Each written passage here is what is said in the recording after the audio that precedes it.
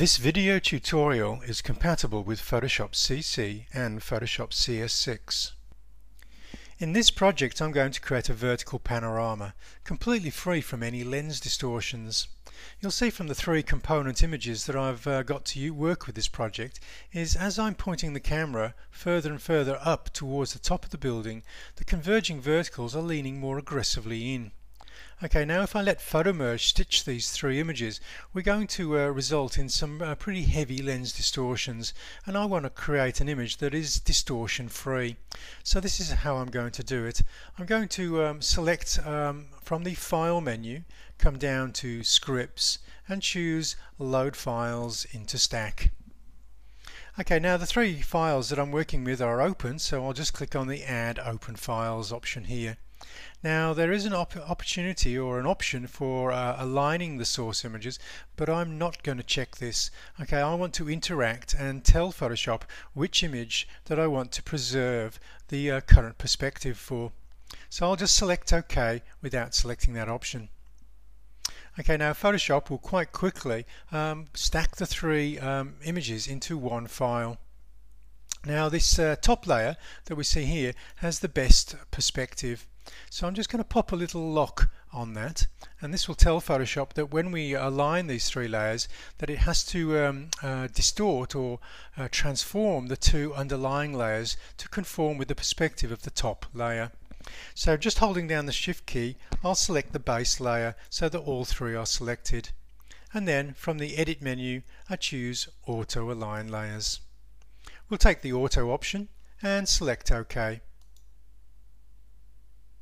Okay, Photoshop will take uh, a few seconds uh, to create the alignment that's required. It's working through uh, aligning the layers, but it's also doing some geometric distortion corrections uh, as I had those options uh, checked inside of the dialog that we just uh, visited.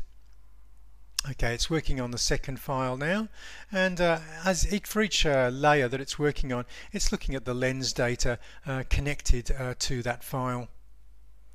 Okay, it's working on the last layer now and uh, there we have uh, the alignment.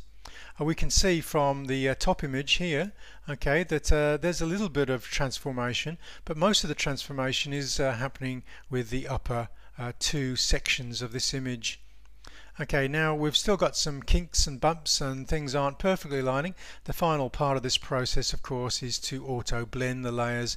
Uh, basically, the photo merge feature is a combination of these two um, commands. So again, from the edit menu, we'll choose uh, auto blend layers. And again, the default option, panorama and seamless tones and colors, and then select OK and this will work a little bit faster um, than the previous command because uh, we're no longer looking at those um, um, metadata for the lens uh, information in those files. And as you can see here now we've got uh, those three images blended together and uh, we've got that seamless um, uh, montage that uh, that dialog promised us. Okay now I'm just going to take the lock off the top layer. So I've just clicked on that top layer and then I'll click on the little lock icon uh, to remove that lock. I'll select all three layers once again just by holding down the shift key and selecting on the base layer and then from the filter menu I'll choose convert for smart filters. This will allow me to work on three layers as if it was one single um, component. Okay, now I'm just going to zoom out, Command 0, Control 0, and with the crop uh, tool selected. I'm just going to take in and take out the majority of that transparency sitting at the edges. I'm not going to worry too much about um, making this absolutely perfect because uh, when I've removed the final distortions from this image I'll probably have to revisit this dialog so that will um, um, be okay for now. Okay, now let's take a look at um, the, the new filter that is going to remove the rest of the distortions. Okay, we come up to the filter menu and choose the adaptive wide angle option here. Now when this image first opens in this dialog it'll probably appear as if there's more distortions than when we enter the dialog um, but we can fully correct this image inside of this working space. You'll see from the correction options here it's already chosen panorama okay it's quite a smart dialog and it's actually working out what we're doing here. Okay, we need to focus our attention now on the tools on the left hand side and by far the most useful tool here is the constraint tool. And so this is selected and then we can come into the image and start um, basically advising Photoshop um, of some structural lines within the image that will help correct this image. We've also got a detail window on the right hand side of this dialog and this will help me find perfect alignment. So I'm just coming uh, up to the uh, bottom part of that structure, that red edge there, and then moving my cursor over to uh, the corresponding um, feature on the right hand side of the building and just a few uh, um, uh, centimeters more and then let go of the mouse and now we have uh, that rendered as um, as a as a straight line. We'll need to put a few more lines inside of this image. Okay I'll find another area of the structure and then move over to the right hand side like so. And you can see the corrections slowly being removed. I'll add a, a third one at the base of this building and moving over to the right corresponding right hand side and again just using that detail window to find perfect alignment now at the moment the distortions are being corrected in one plane only and only uh, to the extent or edges of the line so I'll need to extend these to the edge of the pixels so that we have full correction across the width of this image. So just hold down the shift key and then drag these blue lines out towards the edge of the pixels to get full correction across this plane. Now occasionally when you're dragging you might only get a, a single drag before having to return and then dragging once again. Okay, when we uh, finally correct the verticals for this image they can be actually quite problematic and so I'll show you another way we can do that. Just uh, dragging these final three lines out uh, like so and this one will need a, a second click uh, so I can extend and perhaps even a third click to come out to the edge of the pixels there. And again extending this side and this one's making me do it a second time and uh, there we got full correction.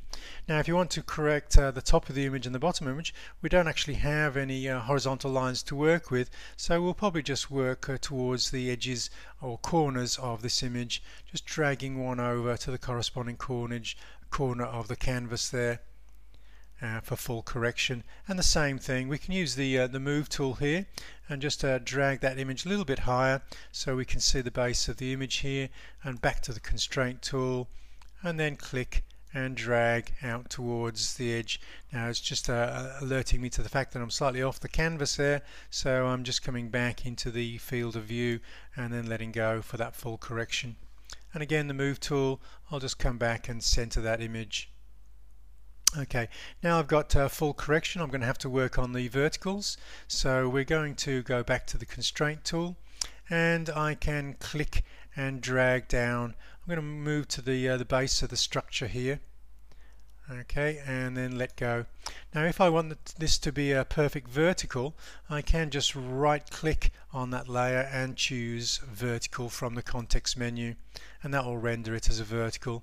And we're going to do the same thing on the other side of the building. Again using that detail window if I want this to be a, a vertical uh, from the outset then I can just hold down the shift key as I drag this and this will make sure this is a vertical just in one um, uh, uh, operation like so. We'll need additional lines on the outside of the building. So we'll go from uh, top to bottom again on this side. And again holding down the shift key as I just uh, snap that into position to make sure it's going to be uh, rendered as a as a vertical and uh, one on the corresponding side. Okay from top to bottom holding down the shift key and the again coming in to the same area on the structure as I did on the left side. Okay now we have that corrected you'll see that uh, the distortion just uh, extends or comes back in quite uh, savagely just above these lines so we will need to extend these verticals okay so I'm just going to again hold down the shift key. If this doesn't let me extend too far or in too many clicks I might have to let go of the shift key in order to extend this out to the uh, the edge of the the canvas. Okay it's allowing me to do it in two or three so that's not so bad. I'm going to let go of the shift key now as I extend that and I'll just have to align that by eye this time in order to get out to the canvas edge. And again coming and extending that out and again I'm going to line by eye this time uh, to speed this process up. This is quite time consuming but you'll see the uh, corrections uh, has not really been possible with Photoshop prior to this feature existing. So um, it's certainly an improvement to uh, the, the uh, features that we've already had inside of Photoshop. And I'll just make a final few corrections uh, to these verticals here as I work. Got two more to go. I'll probably need to add some uh, verticals onto the edges of the canvas as well. Okay, in order to um, ensure those corrections extend across the entire canvas area.